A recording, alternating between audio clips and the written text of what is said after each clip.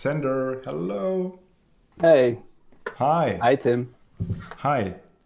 I spoke to Casey Reas. yes, I saw. You were a bit starstruck. completely. I feel completely overwhelmed by that. That was really, really nice, and especially his words about our work, right? So, it's it's. I mean, it must be so cool for him to see that processing. I mean, he just built this foundation, and people like you and Vera and the others just use that to create amazing stuff. Um, not just in a way that it appears on websites, but also in real projects.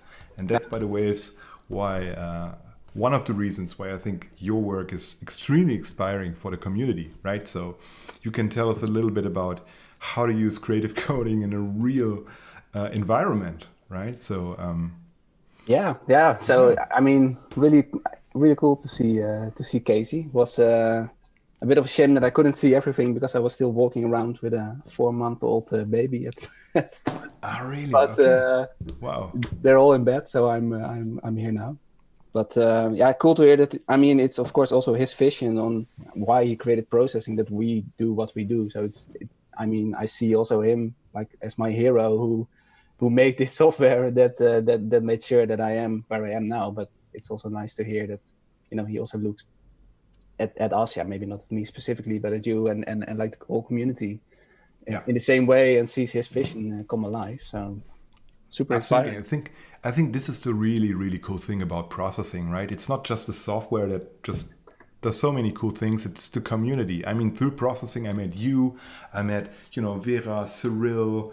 Um, I mean, so many people that just came into my life through processing. This is probably the most valuable outcome of the whole efforts I put into the uh, into to my teaching and my uh, content, right? So Yeah, you I also really see it this. with when I mean when people code or when you talk about code, it's always people wanting to share what they made or if someone has a question. I mean, there there's a reason why there's so many forums and and platforms to to learn about coding or to have people explaining things or like you making tutorials for for free or you know um, writing books or it's because people are really enthusiastic about this. I mean, I'm too. That's why I always like talking about this uh, these things, and that that creates, of course, uh, a really nice community. So yes, happy to be uh, part of it.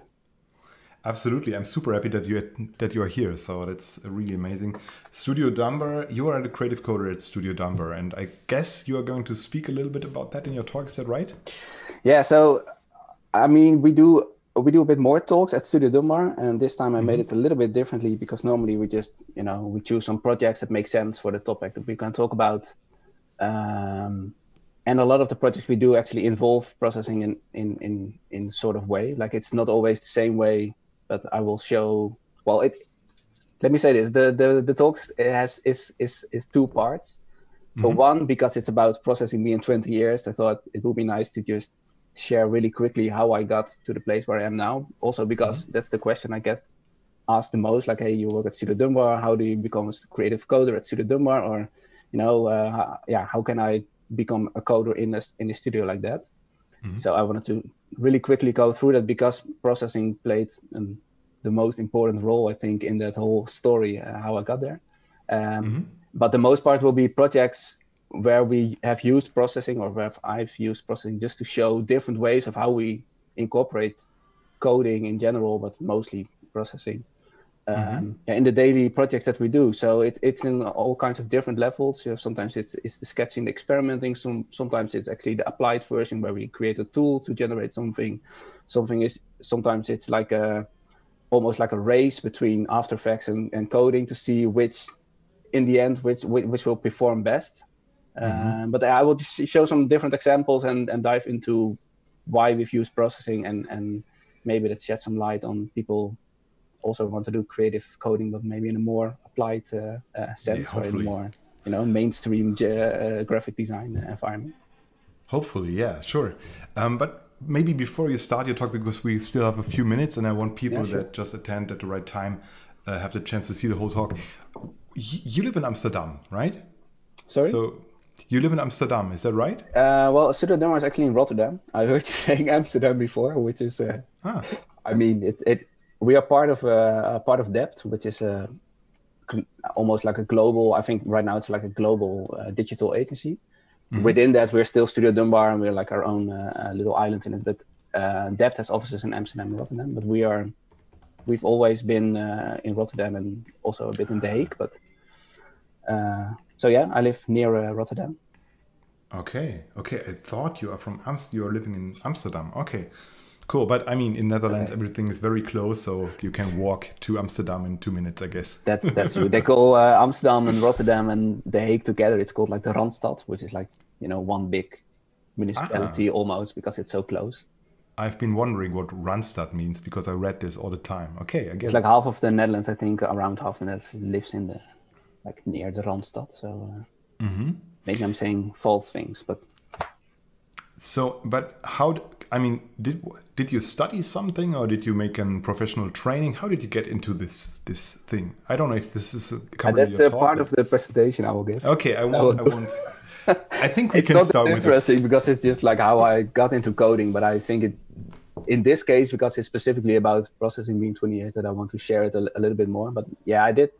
I mean, I did study somewhere and got into mm-hmm. coding then, but it's it's it's it's like 14 years ago that I started studying. It was quite a long time ago. Mm-hmm. Um, but I I have been on and off processing for most of it. So mm-hmm. like recently, the last two years, I've been you know really into creative coding again. But the years before, I, I kind of didn't have the the time, or you know, it wasn't really a big part of, of what I did. Okay. But it all started, uh, yeah, in when I was studying.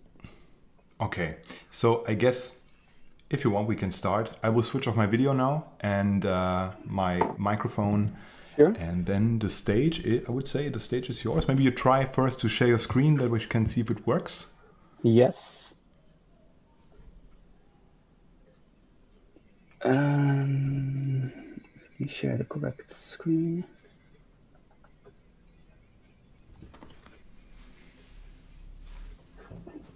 How's this? Yes, yes, it works. I see a video. I don't know if that's the full screen of your presentation. I think so.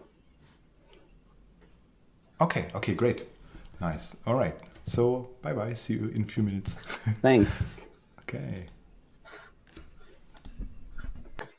All right. Well, let me get this on the right screen, otherwise, I don't see anything. All right.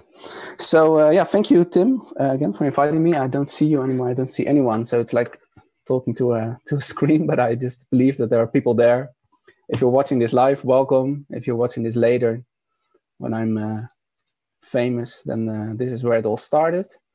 Um, so first of all, congratulations to um, to processing 20 years. I already said to Tim before uh, we started this presentation that uh, I've like 20 years is is like for me processing has been a big part of my professional career and my my education for like for, uh, more than 14 years. So a big part of this 20 year is uh, is also a bit my uh, my journey. Um, but yeah, welcome. I'm Sander Sturing. I'm a creative coder. Um, sorry, I keep putting my mouse on the screen. Um, and uh, sorry, Sander. One yeah. thing. I guess we don't see your presentation. I'm not oh. sure. Oh. We just see a video. Maybe you shared the wrong screen. I'm not really sure. Uh, that's classic. Okay, wait, give me yeah. one second. Yeah, that's this Zoom Zoom thing, right? Yeah, it's when I start sharing something, I don't see anything anymore. Wait, give me one. Sorry, sorry. No worries. I've been worries. in. I, I mean, I'm in Zoom meetings the whole day, so you would think mm-hmm. I would know how to share something. Uh, maybe then I can't share the.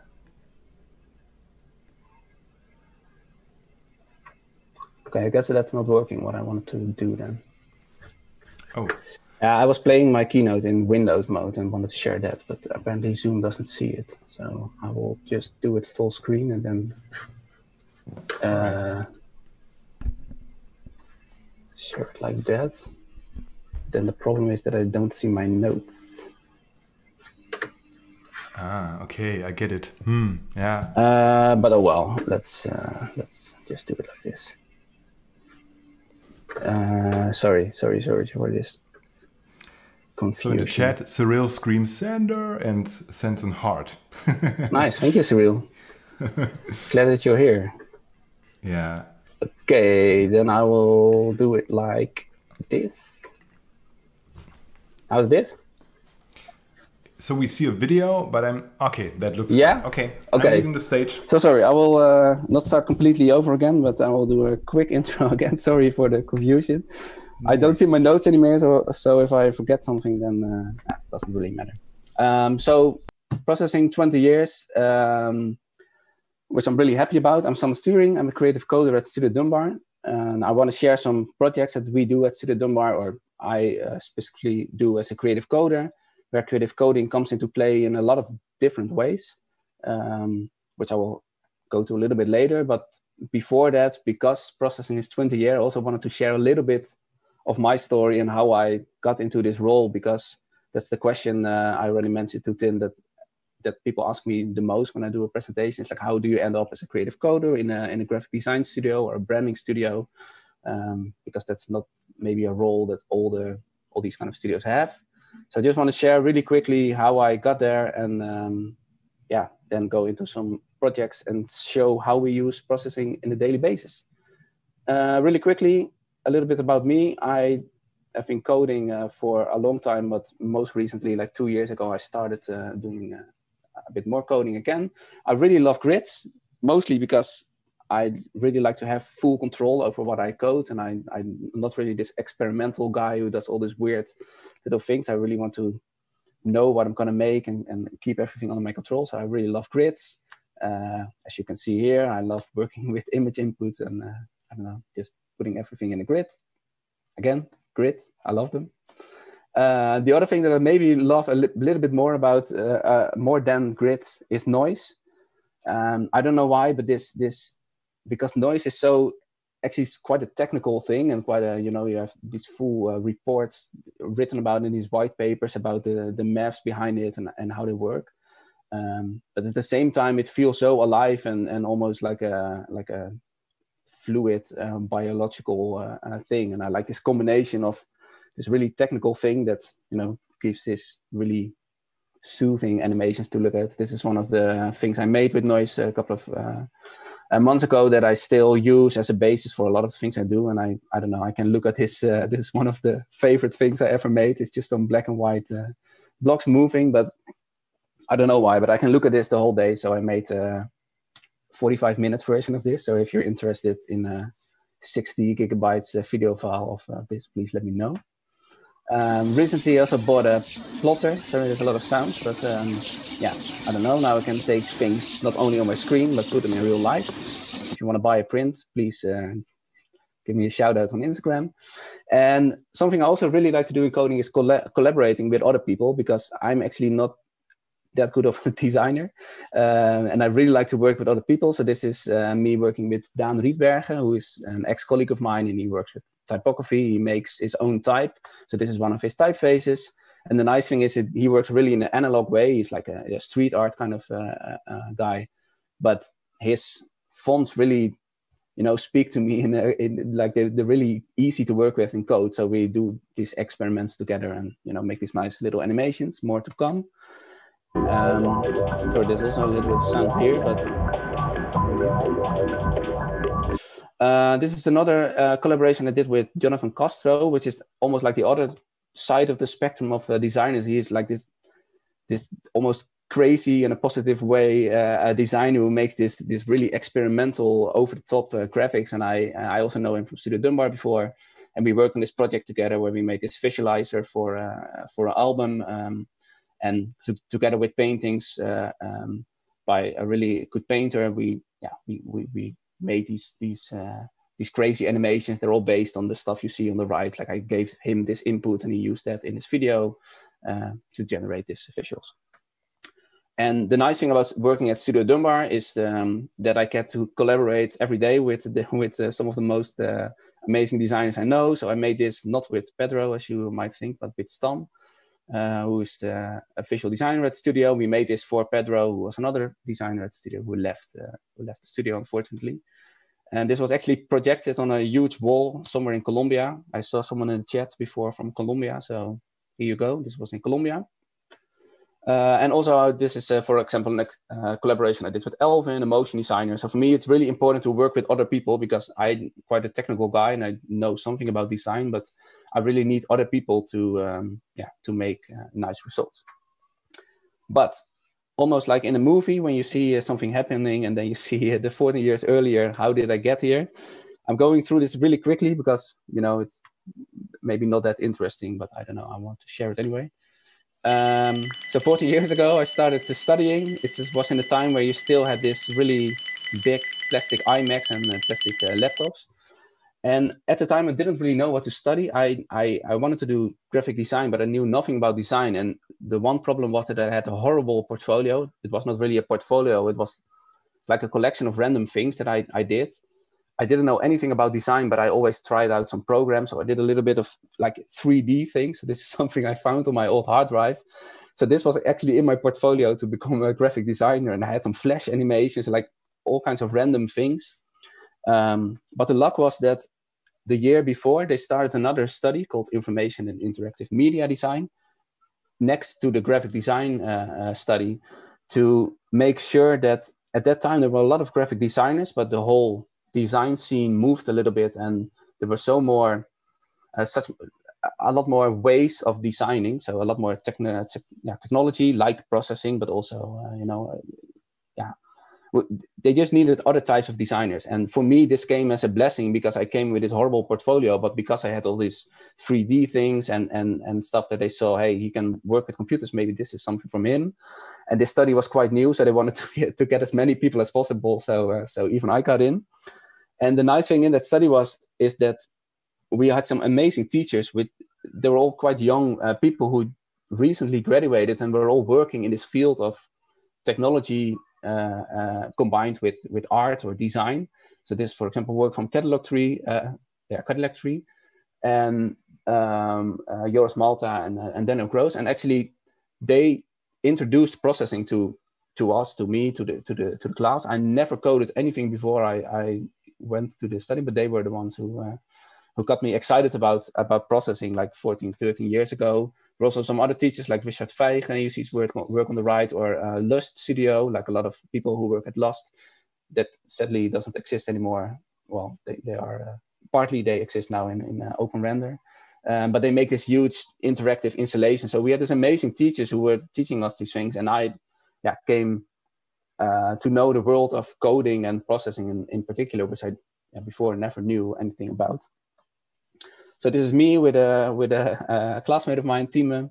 Uh, and from that point on, because we I knew processing and I I fell in love with it so much that I I just started coding the whole day. So every project we got, even though I was still not a really good designer and I did an art academy, I, I just coded everything that I could. So, you know, if we had to make a poster with uh, about the Netherlands, I coded it. If we had some kind of data set or we had to have a free project or we got a, a list of, of books or, yeah, it doesn't matter. Uh, I coded it. And yes, on the right, you do, you do see uh, come and semen drinking guys. I don't know why. It was in the text. So when we were asked to make a flag for Europe, or if we were asked to, uh, you know, to do something with a big archive of uh, recently scanned text, I, I don't know, I just coded everything. It was not always the right decision or like a really nice end project, but in the end, I learned so much about coding. I got better and better. I, I there was also most of the time like a kind of like a, a good concept behind it. So in the end, processing actually helped me through school because still I was not really a good designer, but I was still managing to uh, to make it through uh, through the art academy. And even up until the the day we were, or not the day, but maybe the, the, the time we were graduating, me and Timo were working on this game in processing instead of graduating because we loved processing so much. We we really wanted to make a game in it, and we made this crazy game. It's actually still kind of in development, but it has been silent for uh, 12 years. Uh, it's called VSD, which stands for Virtual Space Drug, because we wanted to make a really addicting game, and it has all kinds of addicting features in it.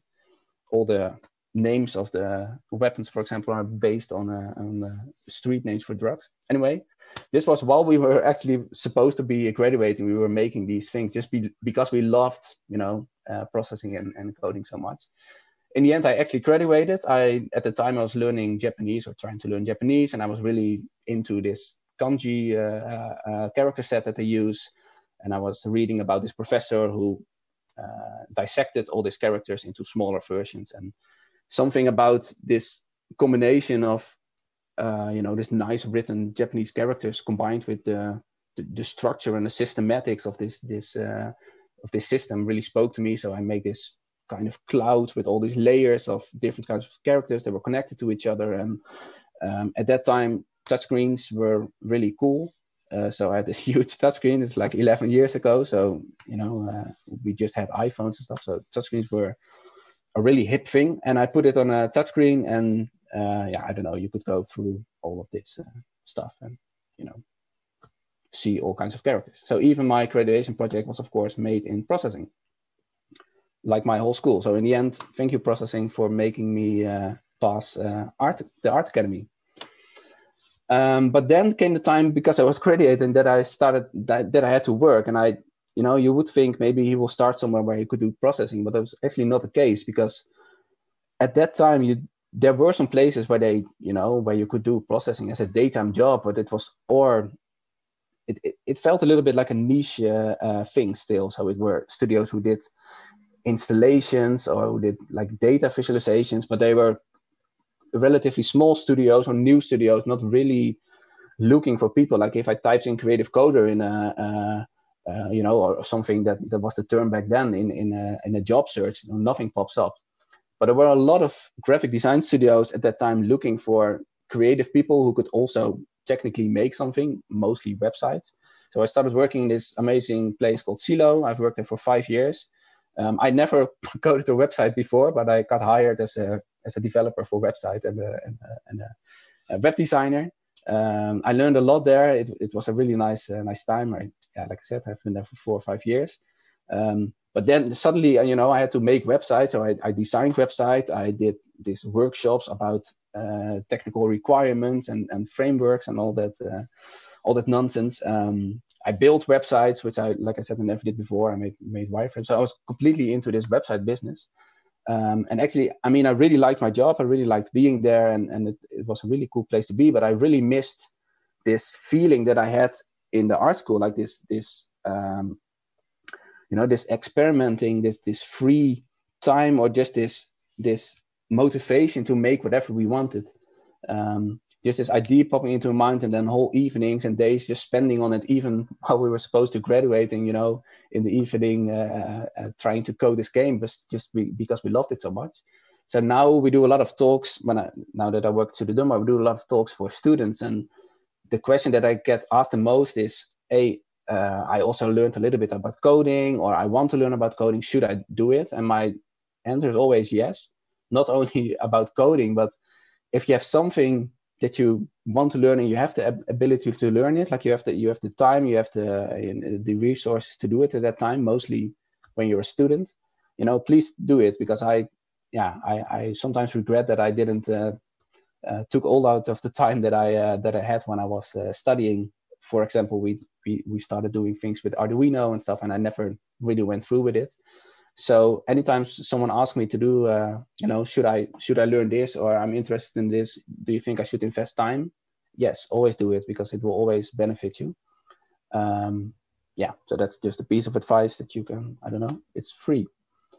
Um, and luckily in the end or like nearing the end uh, of my time at silo they uh, the studio um, evolved a little bit into uh, doing a lot of work for uh, architects so branding uh, buildings from the inside, like making big graphics on walls or making um, uh, um, like signage. And then I could sneak in a little bit of processing again. So after a couple of years, I started up processing for the first time again, and I, together with the designers, made these kind of things where they would draw something, and I would make patterns with it or uh, these kind of stuff. So um, yeah, that that lighted the spark a little again, uh, a little bit again. That I thought, hey, I can use processing in a professional environment. Like I don't have to go to a specific studio that has creative coding as you know as one of their their uh, job descriptions or one of their outcomes I, I, can actually use it in you know the studios I work in so this was a little bit at the end of uh, Silo then I went to Studio Dumbar because uh, yeah I worked for four or five years and they gave me the opportunity to go here which I did um, a real quick intro about Studio Dumbar, just so you all know uh, what it is before I will go into some projects we're actually founded in 1977, so we're even older than processing. We're around 17 to uh, to 20 people. It changes around a little bit from all over the world, and we focus on identity and uh, also the recent years more and more on motion. This is us on a cake in a Zoom meeting. And this is where we come from. This is the, one of the first logos ever designed by Gert Dumbar, the founder of the studio. Is the, the logo of the trains. It's nice to see that it's still on the train. So it's one of the oldest logos still in use, I think. And Studio Dumbar is known for branding throughout the years. For example, we did the police and we did uh, stuff like Transavia. Um, we do not only brand vehicles. There's just I don't know these examples uh, are just nice to show on a photo, but we do all kinds of uh, uh branding, and we still do that even after 43 years. But the method we do it changed quite a bit, especially the the recent years. Um, and one of the reasons is this statement, this almost like this this motto that we now use in the studio. It's it's uh, a quote from our creative director uh, Liza Liza Enebeis.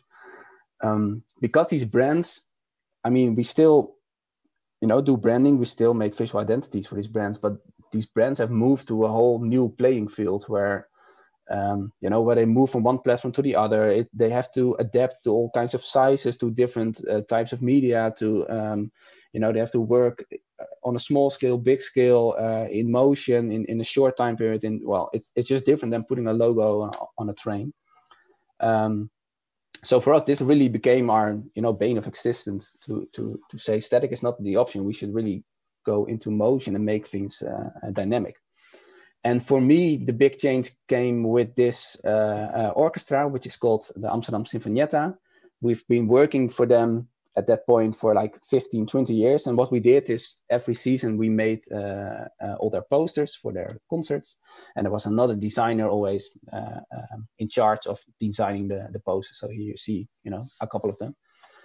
And at that time, they said, "Hey, we have this identity, but it's actually quite static. It's this logo always in the top, but we need something that's a lot more dynamic because you know we make music. They do a lot of experimental things where they work with other types of um, of artists or with with uh, artists even.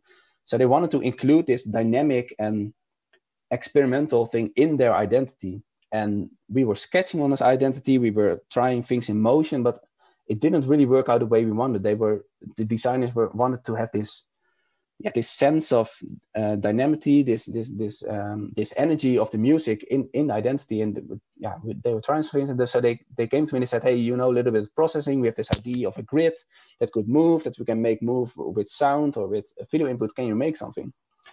and of course I can because I already said I love uh, I love grids and I love processing. So this was the first project I did in Studio Dumbar again really going uh, into coding. This was also a bit a bit of a turning point of my job where I really turned more into a creative coder again. Um, so this yeah, grid is actually quite simple. You can make it move with uh, with all kinds of input, and it comes alive a little bit, and you can spell out the text with it. Uh, we wrote a bit of a more advanced tool where you could play around with uh, sizing, with dynamics, with colors. You could type some text. And the nice thing I think about this is, um, I like it was never the goal to make a tool that could generate everything for this identity because I really wanted to keep the the designers who would actually make the motion and the and the, the posters and all the stuff. I wanted to keep them in charge with um, uh, with making the identity. And if I would only give them this tool and try to make everything in this tool, I would quite limit them. So instead of trying to solve everything in this tool, I, I said, hey, you can give it every kind of input that you want. So uh, they would just make something in After Effects, just you know, an animation that really fitted the music that the that you know the the, the poster or the motion piece was about. So they could you know really make anything they want. They would make it in black and white, and we would just translate it into um, yeah into this grid of letters, and you could pick colors and play around with it. So it's almost like a big filter for uh, for these animations. And these are just some first explorations that some of the designers did with this tool. And for me, this was such a nice moment where you know you write some you, you write some code, you give designers a tool, and then you see them working with the code you've written and, and asking you questions hey like uh, I'm, I'm trying out this can you also make it like this can you make it go faster can you make it uh, uh, do these uh, things and that's still the energy that we have in all these projects where you know one person makes something, ask someone else to, hey, can you can you uh, elaborate on this? And then it's like a ping pong uh, game, back and forth. And with this, um, uh, you know, with these two things, so the designers being able to play uh, with this tool and and the tool itself, we could finally make the identity, and that turned out into something like this. Sorry, like this.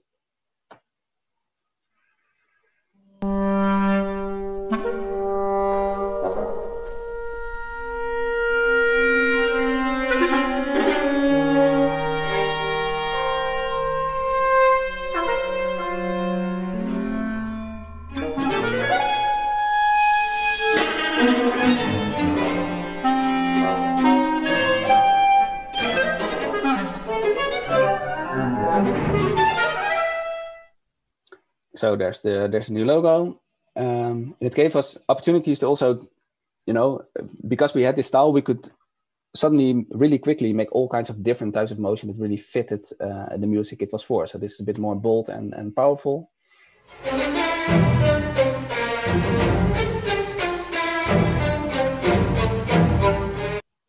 Something a bit more playful.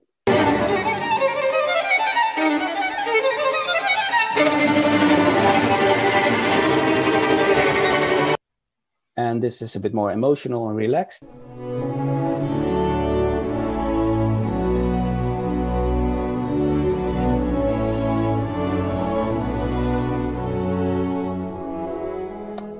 Beautiful. Um, and the nice thing also about this is that if we took these stills from this motion that we made from this code, it, it also started to become the like the base of the whole identity. So we could use these and actually sketch with them uh, and it yeah started to become the actual identity. So for us, it was also a new way of working, um, where this was actually you know at, at, the core of the of the identities, this movement and this uh, this dynamics. So here are just some examples of the things we made. It's like you see uh, from a, not so recent 2018, and we still were able to make the poses. So these are uh, poses here we made by Stan. Um, and we still use the system. And the nice thing about this is actually so we still sometimes use processing to make them, but we also evolved a little bit and use, uh, for example, this is not made in processing anymore, but we also use Cinema 4D or After Effects.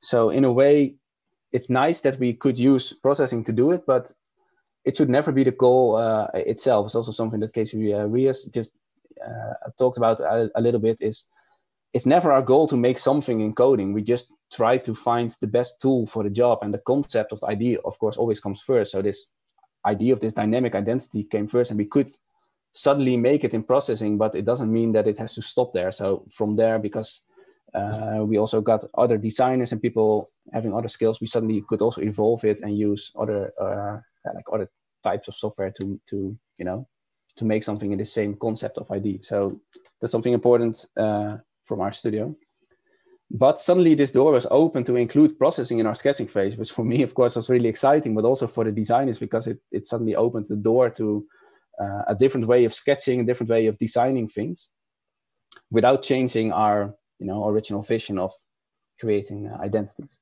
So just a couple of examples that processing has played a role in in different senses. Uh, the first one I want to show you, I'm not going to go into depth too much about the project because I want to show a couple of projects. And if I go to depth of all of them, we'll sit here for a long time. Um, but Cumulus Park, it's an innovation district in Amsterdam. Um, so it's here, it's a couple of buildings next to each other. And it's like a combination of students and professional people working together. And it's all about innovation. But how do you visualize innovation? So we came up with this um, concept of like things interchanging with each other uh, you know it started out with it starts out with two groups but um, when things start to mix with each other you get new shapes you get new uh, uh, like this new feeling. And uh, we really like this idea. And this is basically the core of the identity. So it's not something static but even the core of the ident- uh, identity something in motion um, and we made this this is not made in processing. Actually this was the first sketches we did in after effects. But then the thing is, if you when how we made this in in After Effects, it was quite cumbersome to to work with it because you couldn't work um, in it like real life. You always had to um, you had to prepare what you wanted to visualize. You had to render out. You had to uh, to wait. If, if you didn't like it, you had to change something, render out again, and see. So we were having this question like, can we also make this in code? And of course we can. Um, so I made this tool that uh, in processing again, where you could play around, could use different kinds of particles. You could change things like uh, you know how it was how it was built up, change things like the speed, how many things change at the same time, how far can they go, how fast will they go, stuff like that. And while this is pretty nice, it's a really nice tool. It in the end it didn't really got the same quality as we could do with um, uh, with the animations that we made in in After Effects, and it's maybe not something uh, that has to do with processing. Maybe it's more that I couldn't fix it in the end. That it was the same, uh, the same feeling. But we, yeah, we liked it, but it, it, it wasn't as good as we, you know, for example, ha- um, had here. Especially because we started to make these things where words were changing into each other. So we made this tool. It was really nice to to use, but in the end, a lot of things we made were still made in After Effects just because you know it was, uh, it it gave a better result. You see here. But it was not the end. I mean, what's nice about having this tool is, uh, is that it came into play a little bit later because we also needed to make print work. And then suddenly it became quite hard to make a nice still out, out of the out of the motion and, and use it for print because you want to catch this dynamic, you know, this feeling of things changing into each other or when they're in the moment of going from one place to another which is quite hard to sketch in a static program like uh, like Illustrator. I mean, you have some plugins that you can make things into grids, but to make it catch a dynamic moment is quite hard.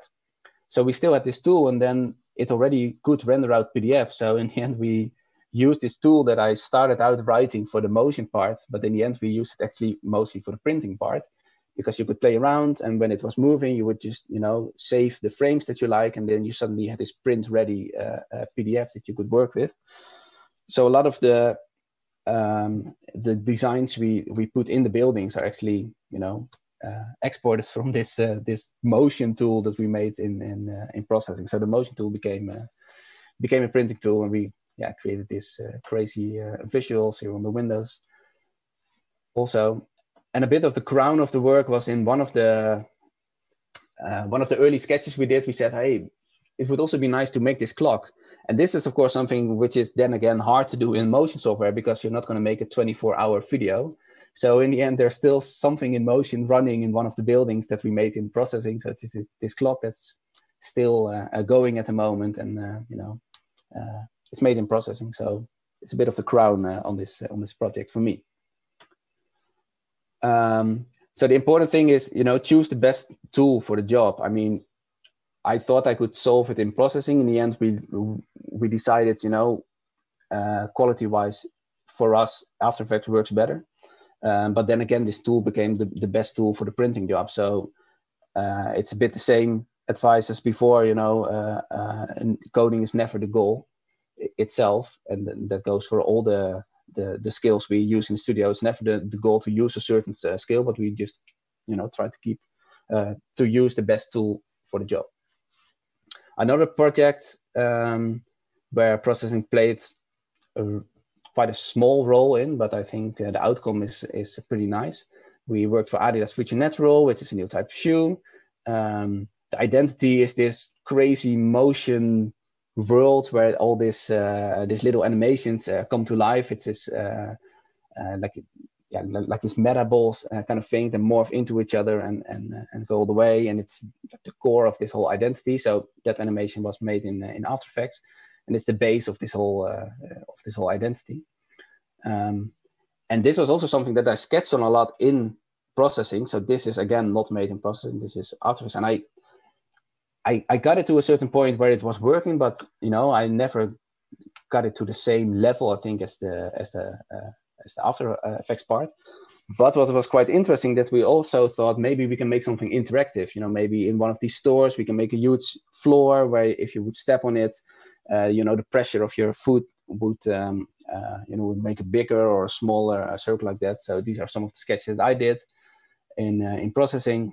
In the end, uh, you know, it, it was just some early explorations, and we went in a different route. They were never used, but uh, yeah, that doesn't really uh, that doesn't really matter because I think one of the really nice thing about coding is that there's n- not really an endpoint. So a lot of times you put a lot of time and effort into the first phase, like into the first part of the project where you try to set things up. But then if you are at a certain point, you can use that and go in so many different directions and keep uh, com- coming back to a certain point and you know going uh, into uh, to a separate direction.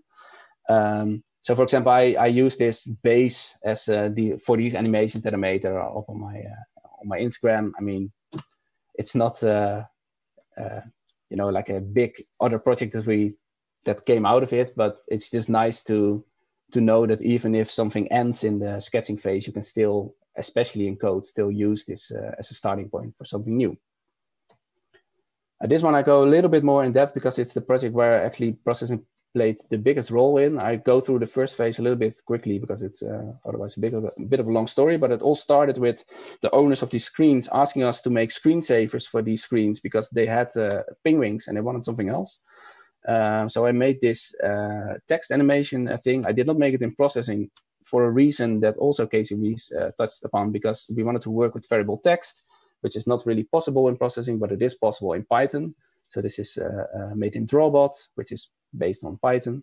So I hope processing will go into the Python direction because type animations are, uh, are perfect for this. But we made this tool where you can make all kinds of uh, textual animations with. We put the names of the cities in the in the uh, city colors on the screen. So use Rotterdam and use Amsterdam. And we made uh, all kinds of these animations. The nice thing about that it was being coded is you could just type a name, choose a color, press a button, and you would have this you know, ready uh, to play uh, video.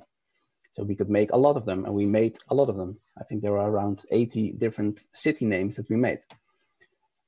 Um, but actually, the start of demo came because what was nice to see is that a lot of people started to film these things, uh, you know, around the Netherlands, and um, it is something that you normally wouldn't do, like film an advertisement screen. But people started sharing these with us on uh, on uh, on Instagram, and what we really thought is it's such a nice platform to design on on these big huge screens that are outside. It, it's a vertical uh, uh, orientation.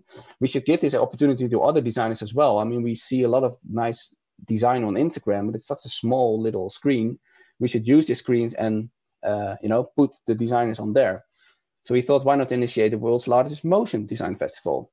And show work from these designers all around the world. And we wanted to do it in a station because that's where it all started. We wanted to do it in amsterdam central station because there are, uh, there are 18 of these advertisement screens, and they have huge video walls. And we asked the owners of the screen, hey, can we take over these screens for 24 hours? So not show advertisement where you make your money with, but show designs from people all over the world. And they said yes. The nice thing about doing this at the station, by the way, it was pre-COVID, uh, is that you have 250,000 visitors in your uh, in your exhibition or your uh, festival right away. So we suddenly had this festival in our hands and we needed an identity. And the thing about designing an identity for a motion design festival was, of course, that this whole identity should be something dynamic, should be something in that was moving. So here are some of the sketches that we did. This is a project where we really went all out on with uh, in the sketching phase. It's something that is really important in the Studio Dumbar where the sketching phase is like really important. We try to go in as many directions as we can, and not only go in as many directions as we can, but also go as far as we can in that certain direction just to see you know how far can we uh, can we push it because you never know what comes out of uh, out of sketching. So these are some crazy sketches that uh, you know are nice but didn't uh, didn't make it in the end. Stuff like this. Um, because for this identity the solution actually came in this uh, this app. One of our designers uh, elvin is a motion designer. He was sketching on his way back in the train and he was using this tool and he suddenly noticed this distortion tool within this uh, this platform where you could put in a, an image. In this case, it's an image of a big D, the letter big D, uh, and he could distort it from the middle without distorting the borders. And we really like this concept because that's also what you do on a screen. I mean, the borders are there; it doesn't distort, but you distort something, you know, within this uh, screen. We thought this could be the base of our identity, but we had no idea how to make it. We could not recreate it in any other platform because all the distortion tools would just you know, distort your whole image. So what we did is just screen record uh, us playing around in the tool, put things next to each other, and when we had this, we thought, yeah, this should be the identity. Um, so uh, uh, yeah, this became like you know the, the thing we wanted to achieve. But how would we do that? So again, we went to processing.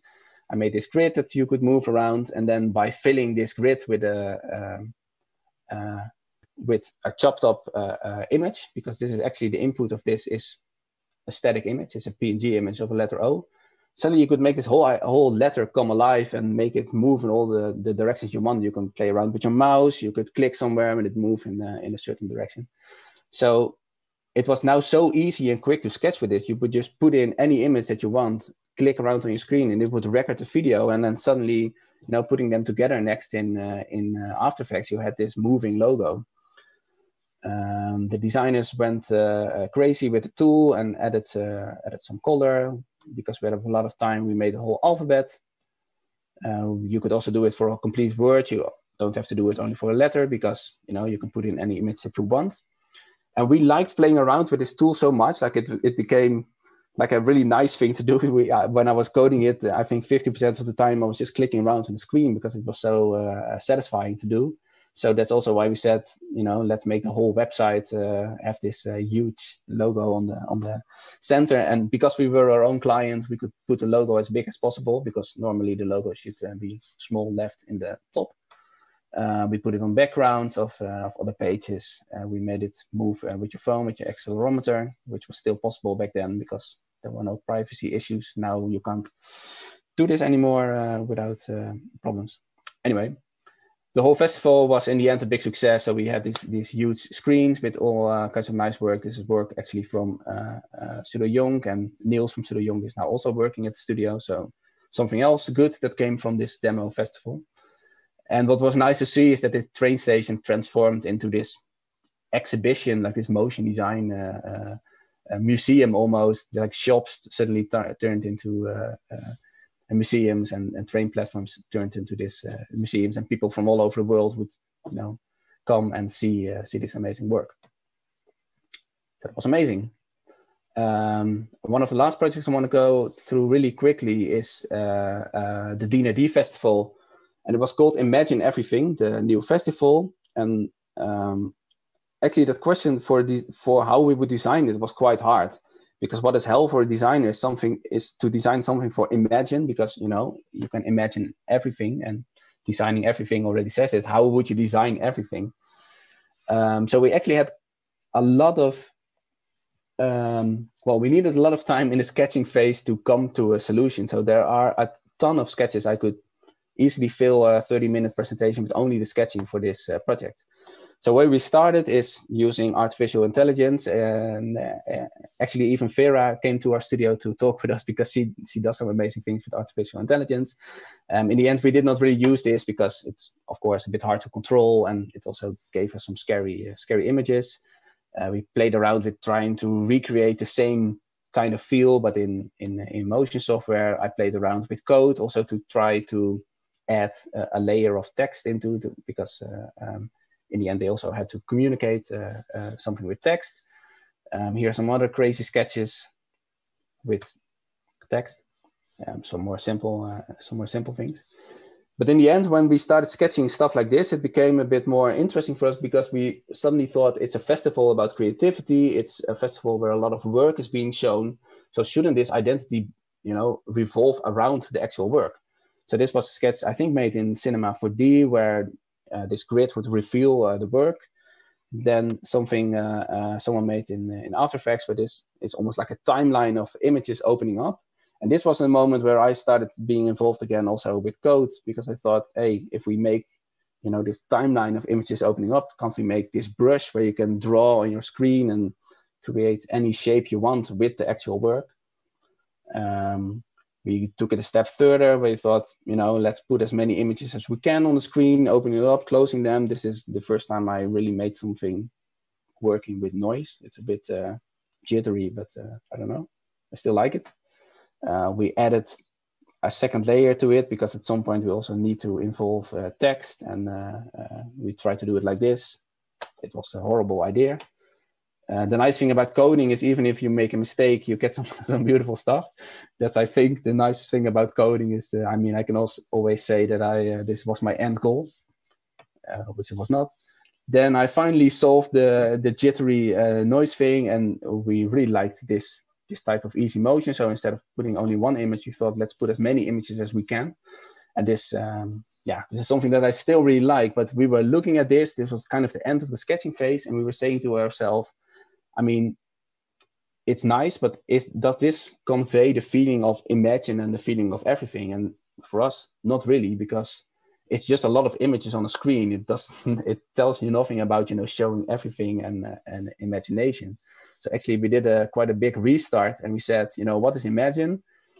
Imagine is this beginning of the idea. Uh, we should start with this imagine. You can imagine everything that you you know comes into your mind. So this imagine should be the starting point. So we literally made it the starting point. This is the yeah the sketch where like the, the where everything uh, revolves around, and from that imagine we could does it work? Yeah. We could stretch out, in this case, this everything and make a, the longest logo that we ever made. But actually, this imagine could suddenly be the starting point of literally everything that we wanted. So with all these crazy sketches, with big Im- like with a big grid of images and things moving around, actually this was our solution for this imagine everything, something a lot more toned down and, and typographic and actually simple in a way. And it resulted in, uh, for example, the trailer that I will show you now.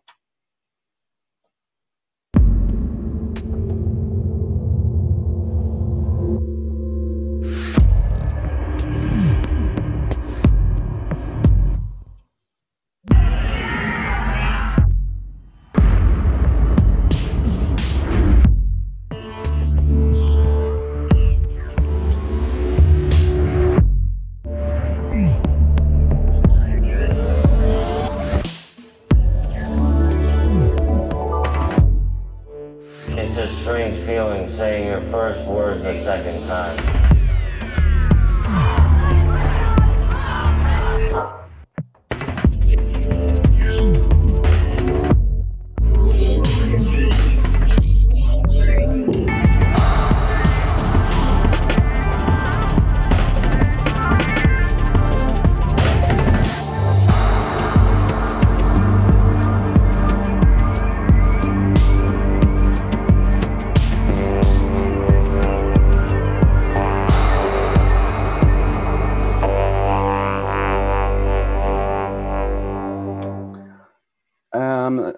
In the end, also for like for a lot of printing things, we did did opened up a lot of opportunities to make you know crazy things.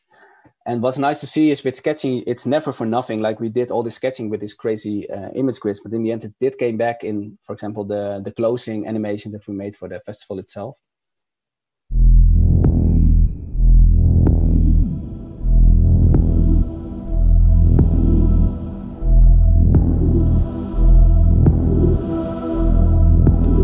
So I what I think is is nice about this is that I mean it's always good to sketch as many things as you can and you never know what comes out of it. So even if the solution was not was not in that the sketches that i showed we did you know come back to it and and could finalize the project. I'm almost done. Uh, just some really quick examples of uh, of some stuff that uh, um, sometimes we do things that are, a little bit more applied with uh, processing, which I really like. So this is a tool that we made for an identity where which we gave to the client. They could make this uh, the shapes out of all these uh, little shapes. We use this tool for this is the printing tool, but we also have a motion tool because you know you can make these growing things with it. So sometimes actually coding is the goal and is the end result in uh, in things we do.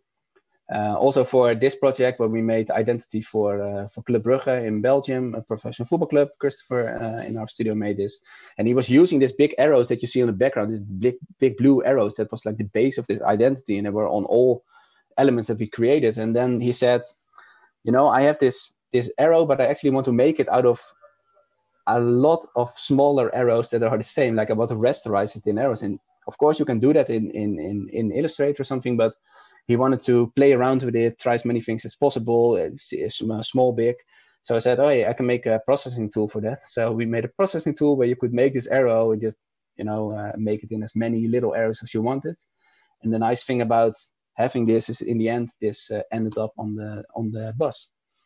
So thank you processing for making all of this possible that I was able to uh, to make designs for a professional football club uh, players bus and all the rest that I showed. Thank you.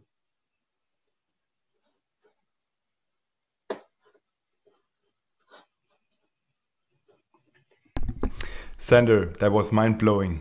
Awesome stuff. I'm super excited. Amazing work. I mean, I follow the work of Studio Dumbar since uh, quite a long time already, but you know, you really crush it. So that's a great talk. You really uh, should do this more often. Thanks. Uh, this was maybe a bit long. I didn't really practice it before, but uh, well. Thanks. No worries. It was great. It was really super inspirational, and I love these aesthetics. I think you have a very, very, yeah, concise way of designing at Studio Dumbar, and it must be great fun to work in such a cool agency. So, um, yeah, it is. And I mean, the nice thing is that we still do the same thing as we did before. We just have different tools to you know, mm-hmm. do it. So, uh, yeah. I gotta fix yeah. my lighting. It's it's, it's getting dark. quite late already. Yeah, it's getting dark here in Germany. I guess for some of you, it's still day, but I have to. You know, I don't still don't have good video lights. I, that's something I have to to buy uh, soon. Um, anyway, um, Sandra, there are some questions. One of them is quite, let's say, I think quite um, interesting because I just heard that kind of question often. So um, interactive in, interactivist says, Sander, do you think processing has an aesthetic in the sense that it is easier to do some stuff and harder do, to do some other stuff? And he also says it sometimes feels as if a lot of stuff made in processing looks similar. Yes. Well, I think that's a good point because we actually say that a lot is that there sometimes things look like processing, like it has this processing look to it mm-hmm. um, you know, with a black background, and uh, I don't know, you see it and you think, hey, that's made in, in processing. Yeah. I think it changed a little bit the last couple of years because I don't know, like the whole coding thing evolved, and you know, computers got more powerful, so there's just more opportunities. But uh, I mean, if you look at my horrible uh, projects that I showed that I did during school, they they were all had this kind of processing aesthetic a little bit. Um, but what now helps me a lot, and why I really push on this collaboration thing where I, it's always my advice to people if they ask me you know do you have some advice it's collaborate with other people because what helps me a lot is that a lot of these things that i make in processing don't start out in processing mm-hmm. that's the the cool thing like processing is sometimes the right tool to to get to the end result mm-hmm. uh, but sometimes you know it's it's not processing it's another tool so it's a lot of times it's a designer coming up with a concept or a sketch or something that they want mm-hmm. then i can create like recreated in processing. And a lot of times they're also quite uh, picky on how it should look. So it should work in a certain way. So sometimes I have to do, I have to be really precise. Mm-hmm. And how I try to code is to be really uh, like I really want to be in control. I really want to know upfront what I'm gonna make. So I'm not really this experimental, just try some things and and be amazed what comes out of it. But I sketch it out and I do a lot of things on paper and I want to make it exactly like that because of a lot of times I make something for a designer to work with, and I think then, I mean, that's not the only way to make uh, nice things in processing. It's just my my way, but uh, yeah. I really like making something for someone else to design with and have this uh, back and forth because they design something, then they come into they have another question like, hey, I'm now designing this, but can you also make it like this? Or sometimes it's the other way around because I'm coding it and suddenly I have the feeling, hey, I now made this, and technically it's quite easy to also make this, but which they didn't uh, think about. So then it becomes just interesting uh, and back and forth. And then you know you can uh, maybe out uh, outrun this this processing aesthetic yeah I would also like to answer this question. Uh, I think it really depends on what kind of stuff you learn and how much you practice. So, of course, there are some things, that, some quick wins in processing that you can achieve very easily because, you know, some people like me or other people just created specific tutorials on things. But from my point of view, processing is a generalist tool that can be used for literally anything. So it has a, you know, you basically can program anything you can imagine, and that's the that's the superpower of programming in in general, right? So if you are able to create a system that you know, or you are with processing, you are able basically to to really develop things that that look completely different than what we see today in the processing scene, I guess. And um, yeah, it really depends on how people educate other people and um, yeah, and what kind of materials are out there, right? Yeah, no, exactly. And and I think think like a simple really simple example what what changed a lot of things for me because we make a lot of motion work is for example just adding easing into my processing thing like there's this library uh, called ani which yeah, i use a lot where you can yeah so cool it's yeah. so good but you can just pick the easing and just you know say i want this element for for here and this kind of easing but that that changes yeah. the whole thing because it suddenly becomes less mechanical and, and becomes like a real uh, uh, animated thing and just these simple things that you that you learn by you know doing and and by trying out a lot of things Absolutely. Uh, are really helpful. Yeah this is a this is a very important tip. I think the ani library by Benedikt Groß is so amazing. It's so well i'm not really sure if it works well with processing 4 i still have to find that out but i guess my sketches still work so okay they still work. So yeah. you already use processing 4 yeah, I, I thought I had to before this. Uh, I, I didn't know if I got to speak with uh, Casey Reas, and I thought if I didn't use uh, before, I would, you know, be, I have to admit, really angry. I have to admit that I'm on a Linux computer right now. I use Ubuntu operating system on my computer here. So I also have a Mac, but I uh, really enjoy exploring Linux and open source software. So that's why I just use an Ubuntu system for my whole uh, e-learning process. And um, I still use Processing 3, but I definitely will take a look into Processing 4 for Ubuntu. So it is a very edge case, right? Uh, up processing until now, all my works in uh, in. Uh, I didn't really try it, you know, but uh, everything I opened uh, works. So.